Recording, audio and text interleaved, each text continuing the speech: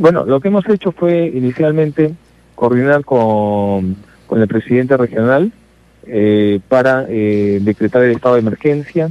A pedido de, Juan Manuel Guillén no se hizo, eh, no se decretó el estado de emergencia en, el momento que, nos plantearon.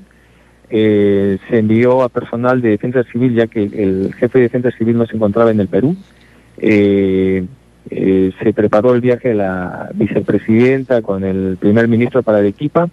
Hubo una, una reunión en el Congreso que tuvo que darse, por lo cual eh, me parece que Marisol no pudo viajar. A Arequipa, eh, se ha dispuesto que eh, se provean con o sin estado de emergencia desde el gobierno central todo el material que se requiera, nuestra solidaridad con, la, con las víctimas de este, de este desastre natural, pero lo que hacemos es primero el gobierno regional es el que define si se da o no se da la emergencia allí y entonces se activan eh, las provisiones materiales que tiene Defensa Civil eh, bajo la administración del gobierno regional de Arequipa.